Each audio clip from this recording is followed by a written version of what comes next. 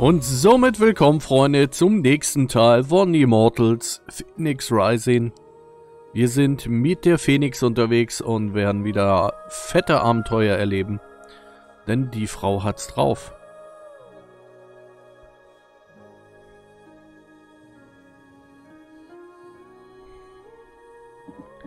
So, dann gehen wir mal auf Fortsetzen. Schwimmunterricht. Drücke B im Unterwassertauchen, drücke A im Wasser wieder zurück zur Oberfläche zu schwimmen. Ich habe das Flügelstück und Aiolos Krug aus dem Tartaros. Nun muss ich diesen Fremden beim Observatorium finden.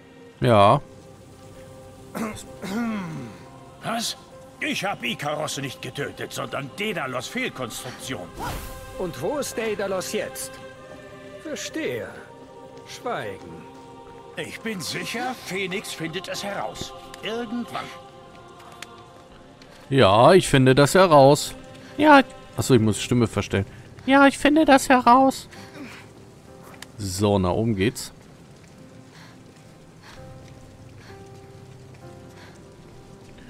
Gucken, ob wir hier oben auch wirklich ankommen.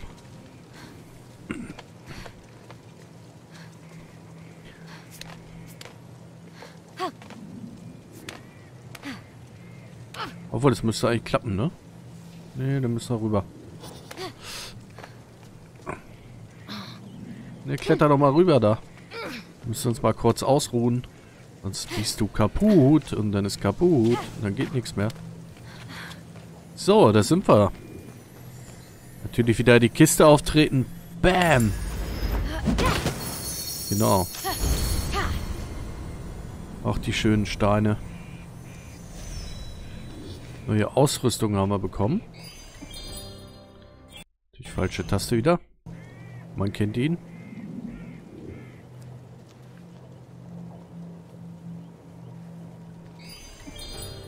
Hm.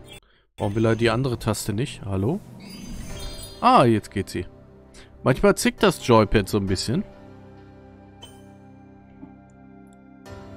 So, das haben wir gemacht. Dann haben wir hier die Äxte.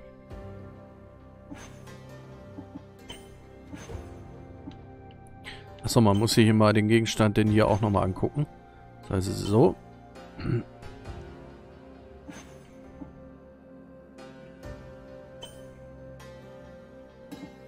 Genau, welche haben wir denn jetzt an? Plus 1 Gesundheitsfelder, Betäubungsdauer 40. Minus 10. Ja, ist das jetzt besser oder schlechter? Also minus 10 Ausdauer verbrauchte Zeit. Plus ein Ausdauerfeld. Nö, das ist die auf jeden Fall, die wir haben, glaube ich, besser. So, Fähigkeiten.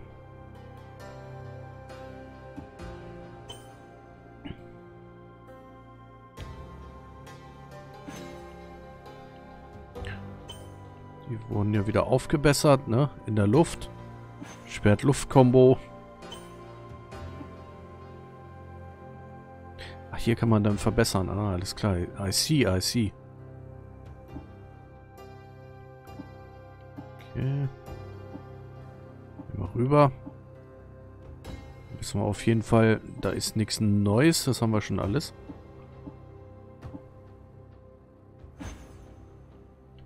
So, göttliche Kraft. Apollons Stärke des Her Herakles und Apollons Pfeil. Nur LT und RB hatten wir ja noch gar nicht benutzt. Wir sahen, dass wir später noch benutzen müssen. So. Ist jetzt auch neu. Okay, dann gehen wir mal... Sorry, dann gehen wir mal zu unserem Typen, den wir retten müssen. Ich dachte, du wolltest etwas vorbereiten. Ja, und zwar mich auf deine Rückkehr. Hast du die Flügel? Ja. Bitte. Nicht so gut wie neu, aber was ist das schon?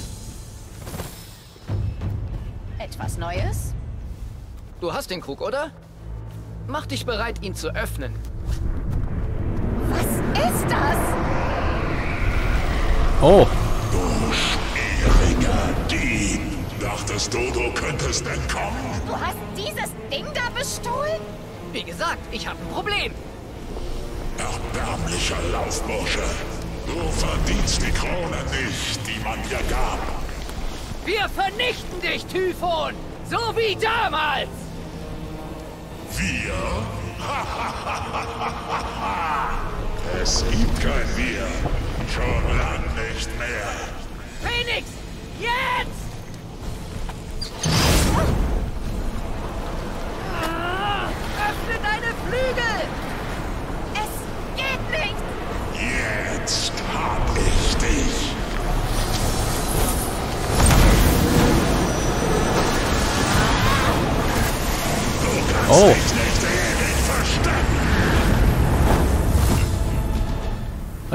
Ganz schön Power mit der mit der Amphorie.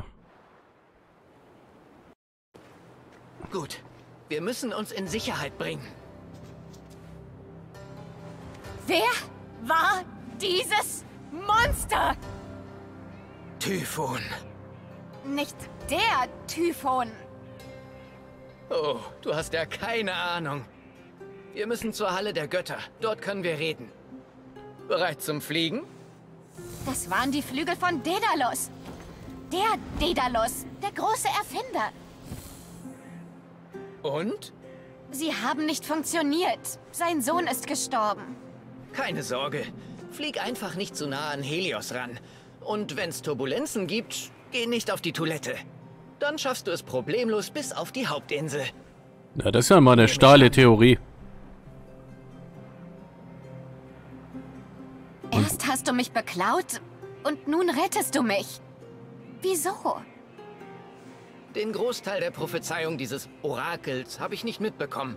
Aber wenn der Rest davon stimmt, dann bedeutet kühn in die Höhe, dass nur du, Typhon, daran hindern kannst, die Welt neu zu erschaffen. Wir wissen nicht mal, ob es da um mich geht. Als jemand, der immer zu allen helfen will, solltest du vielleicht hin und wieder Selbsthilfe annehmen. Wovon redest du denn? Bei den Mäuren. Wie soll dir der geflügelte Bote denn helfen, wenn du ihn nicht lässt? Der geflügelte Bote. Moment mal. Geflügelter Bote? Oh nein! Du bist... Hermes, ich liebe Halbwahrheiten, Streiche und lange Spaziergänge am Strand. Können wir jetzt bitte los? Die anderen Götter brauchen unsere Hilfe. Andere Götter? Soll das heißen, all die Geschichten sind wahr? Irgendwas stimmt nicht mit deinem Gesicht. Dir fällt dauernd die Kinnlade runter. Und jetzt flieg zur Goldinsel. Wir treffen uns in der Halle der Götter. Ich erwarte dich dort. Mit diesen Worten verschwand Hermes. Phoenix blickte über das schmale Band der See, hinter dem sich die Berge und Täler der Goldinsel abzeichneten. Der lange und steinige Weg zu ihrem wahren Schicksal lag vor ihr. Warte, das war nur der Prolog? Wie kann es so lange dauern, eine Geschichte anzufangen? Da Ja, das war nur der Prolog. Schneller zu Hause. Sie wird gleich springen. Sei still und hör zu.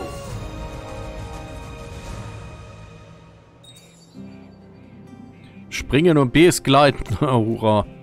Naja, es war Typhon, der da hinten ist und nicht, äh, Gott sei Dank, nicht der Siphon. So.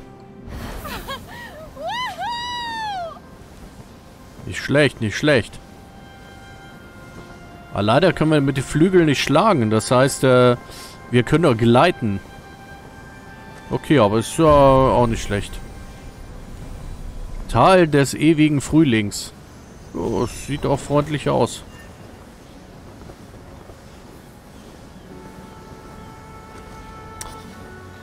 Na, sie landet automatisch. Hab schon mal eine Sorge gehabt, so. Hier mal ein bisschen rüberjagen. Natürlich das Hauptziel verfolgen. Alter, mal krass langer Prolog, muss ich sagen. Mann, Mann, Mann. Halt, da war was zum Aufnehmen. Steine, nee, brauchen wir nicht. Ist ja kein Steinbeißer. Hix.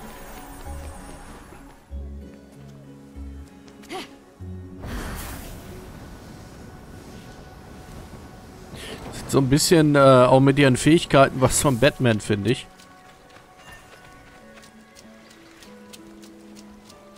Na, hier sind überall Kräuter und Pflanzen. Sammeln wir die mal ein hier.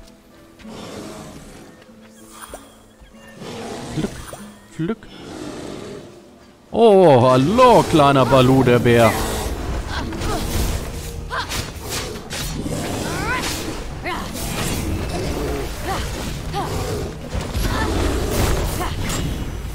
X nicht vergessen zum Ausweichen.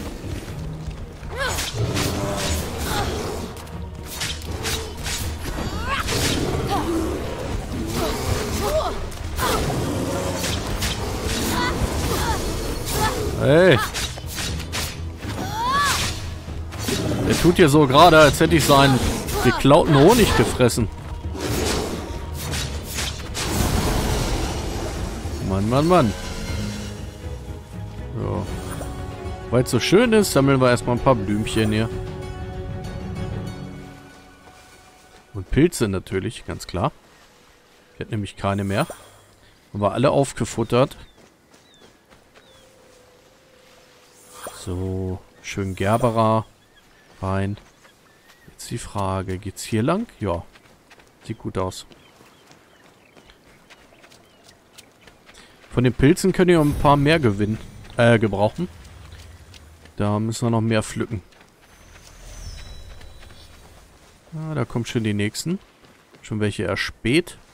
Haben sich zwar vor mir versteckt, aber... Oh. Das ist wirklich das Tal des Frühlings hier. Das sieht aber richtig schick aus. Oh, die schöne Sonne.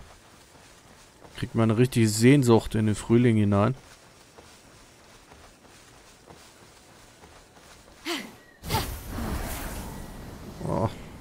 Könnte man es ja auch mal machen. Ach, noch mehr Beeren.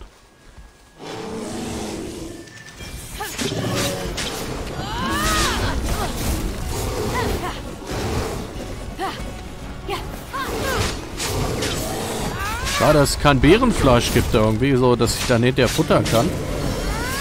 Okay, der eine hat sich schon wieder erledigt. So, mal schön ausweichen. Ja, ausweichen.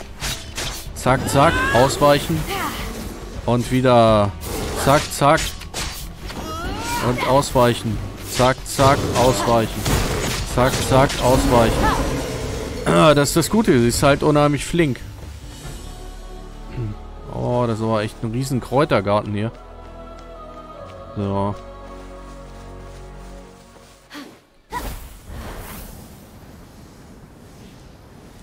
Aber besonders schnell ist das nicht mit dem Fliegen hier. Aber ist jetzt nicht so, dass man da schnell unterwegs ist oder so. Kannst du wirklich nur machen, wenn du irgendwelche Distanzen überbrücken möchtest. Dann ist das in Ordnung, aber so das Laufen ist auf jeden Fall schneller. So, jetzt haben wir eben gesehen, dass die Meteranzahl steigt. Das heißt, gucken, wo sinkt sie denn? Die Richtung.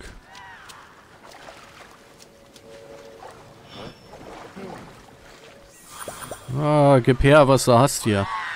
Der Garten Eden.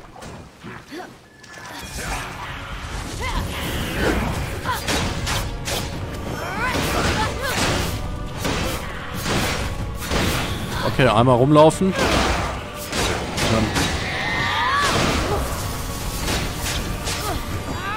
Jawohl.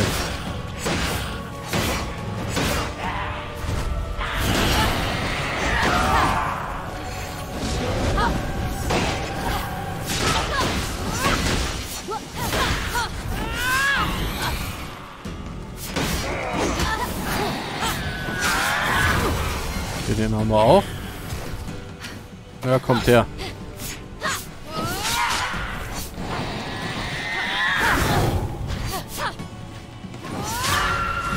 Ja, Luftkampf ist schon wichtig, gerade wenn dir, wenn dich so eine Vögel ergreifen, ja dann.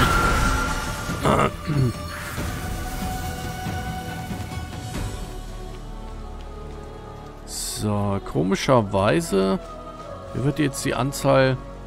Es muss da oben wohl irgendwie sein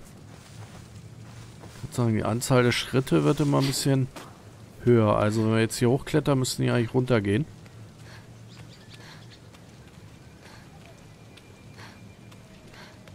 Ah, sehr gut. Echt fleißig am Klettern. Aber das macht schon richtig Spaß, weil das ist so... Das kennt, kennt keine Grenzen, kannst du sagen. Das, du kommst überall hin. Das ist echt top. So, noch 150 Meter Free Climbing. Oh, jetzt müssen wir ein bisschen aufpassen. Jetzt Kraft erstmal erholen, sonst wir ein Problem. Ja, die... Das ist gar nicht so schlecht, mit einem Doppelsprung die ersten paar Meter zu überbrücken.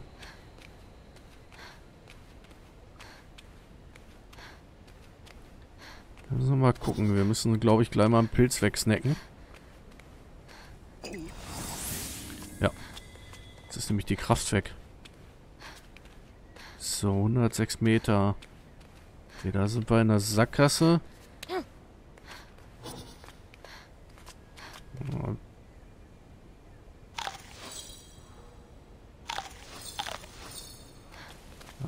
Wenigstens ein bisschen was hier überbrücken. Scheiße, das war, ich glaube, wir haben uns da verklettert. Müssen wahrscheinlich noch weiter links rüber dann.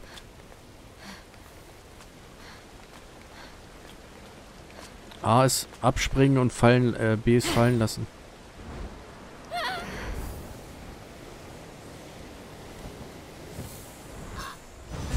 Ah, da sind wir das erste Mal gestorben. Das habe ich ja noch gar nicht geschafft.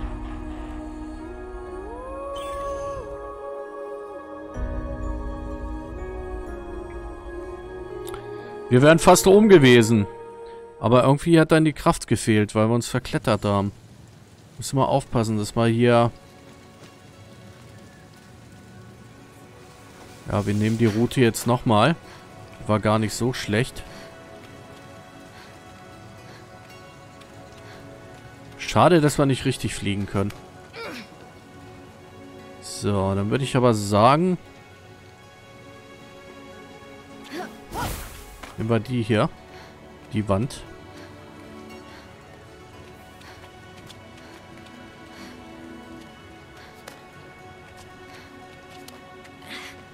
So, und jetzt müssen wir ein bisschen strategisch vorgehen. Das funktioniert auch. Also hier können wir auch lang.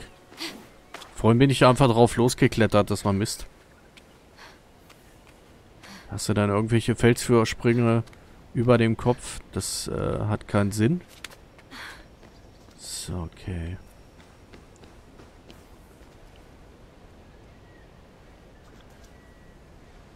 So, hier bin ich irgendwie hochgeklettert und wir klettern jetzt mal hier hoch.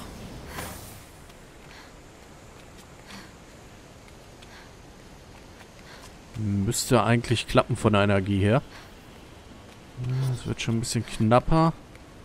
Pilz.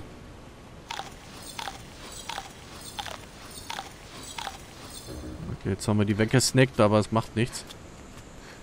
Dann müssen wir es auf jeden Fall schaffen. Wenn wir oben angekommen sind, erholt sich die Energie, Gott sei Dank, wieder. Oh. Haben wir noch einen? Nee. Na, war knapp. Ganz knapp. Oh, das war überknapp. Mega knapp. So, und jetzt müssen wir genau gucken, wo wir hin müssen.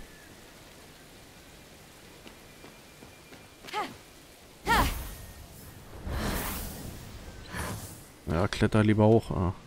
Ich dachte eigentlich, dass wir da besser rüber können.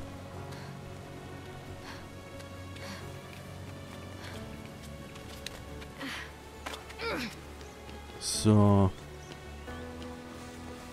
Die Richtung können wir.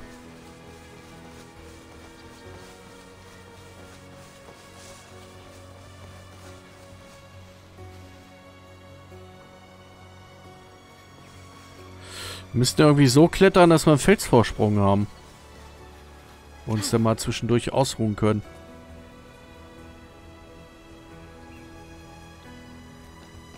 Weil alles andere macht, glaube ich, keinen Sinn. Die Wand ist zu steil, glaube ich. Das würde energietechnisch irgendwie nicht passen. Ja, wir können es mal probieren, aber... Ist das eigentlich, wenn wir jetzt stehen bleiben hier? Ja, dann bleibt auch die Kraft stehen, also sie erholt sich dann nicht.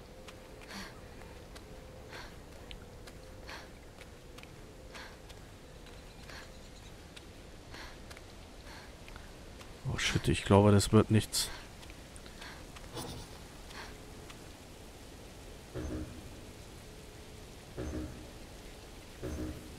Was ist denn eigentlich mit dem Trank? Der wird gar nicht genommen. Ah, hier sind Pilze, alles klar. Wow. Super. So, jetzt können wir hier hoch. Das ist echt eine geile Landschaft. Wahnsinn. Klettern wir hier ruhig hoch, ne? Ja. Dann haben wir ja zur Not, wenn irgendwas nicht reicht, nochmal ein Pilz, um ein bisschen was nach oben irgendwie äh, zu pushen. Unsere blaue Energie. Ich weiß gar nicht, was das genau ist. Ich glaube, das ist Luftkraft. Weil im Wasser ist es dasselbe.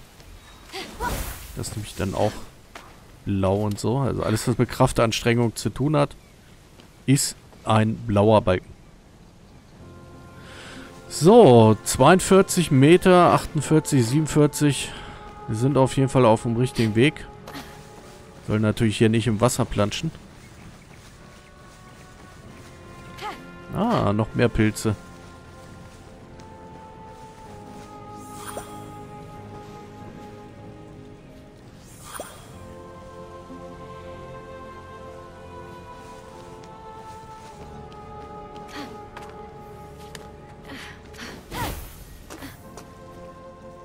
Jetzt sind wir hier. Oha. Der Anblick der großen Halle verschlug Phoenix den Atem. Das ist unglaublich. Ist auch wirklich ein fettes Teil, ne? Okay, ist jetzt ein bisschen kaputt, aber schon geil, ey. Schick aus. Ja, ganz nett. Könnte mal renoviert werden. Mhm. Die Sache mit den Säulen ist etwas altbacken. Also, sind wir hier sicher? Weißt du noch, was ich Typhon gestohlen habe? Es war ein kleines Stück seines Auges, damit dieser Ort vor seinen fürchterlichen Blicken verborgen bleibt. Gern geschehen. Du sagtest, das wäre die Halle der Götter. Nun, wo sind sie dann alle?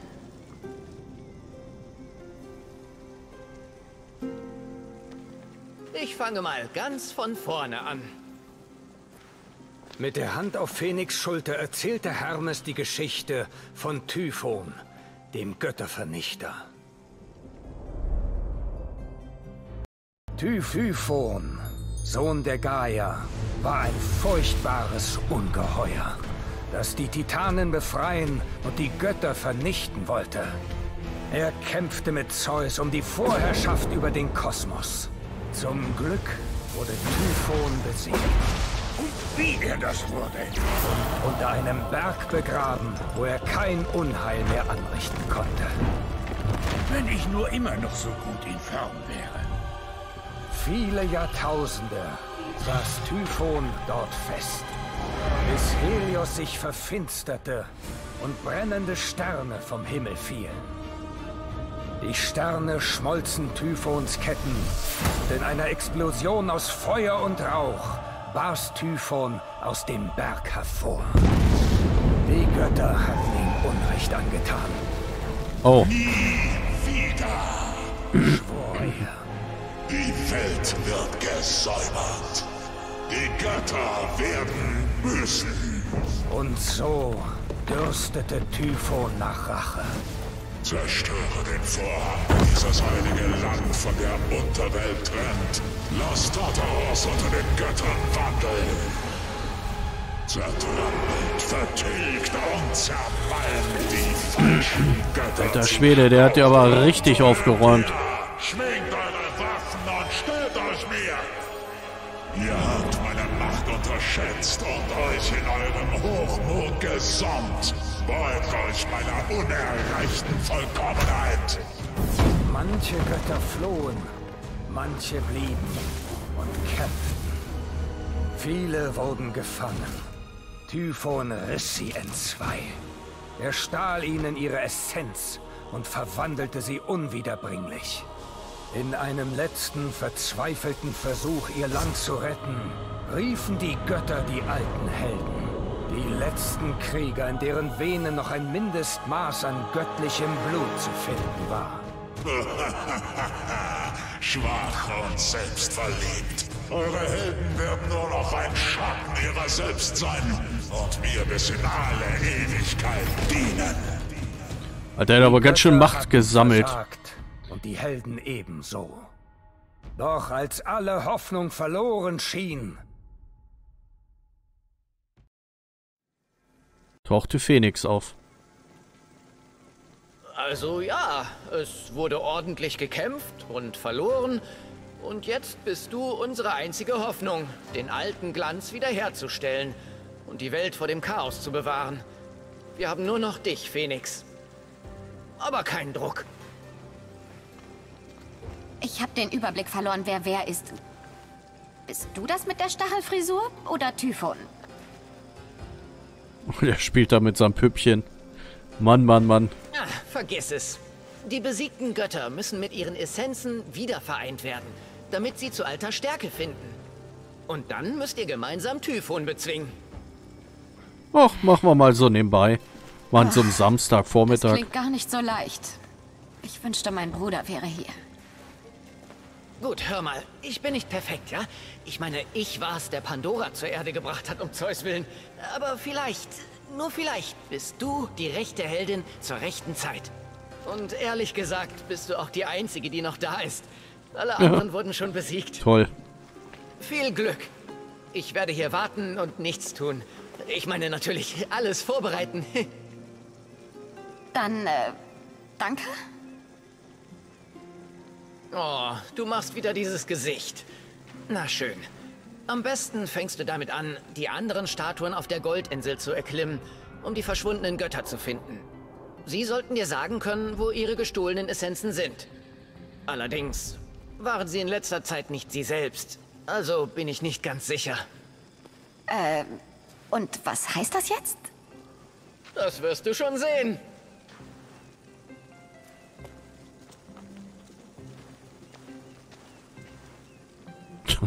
Dass er immer mit seinen Puppen spielt, äh. Kein Wunder. Dass wir ihn retten Was mussten. würde mein Bruder tun? Ligyron würde es vermutlich ganz allein mit Typhon aufnehmen. Wie damals, als er die gesamte spartanische Flotte besiegt hat. Dem mache ich was vor. Das ist zu viel für mich.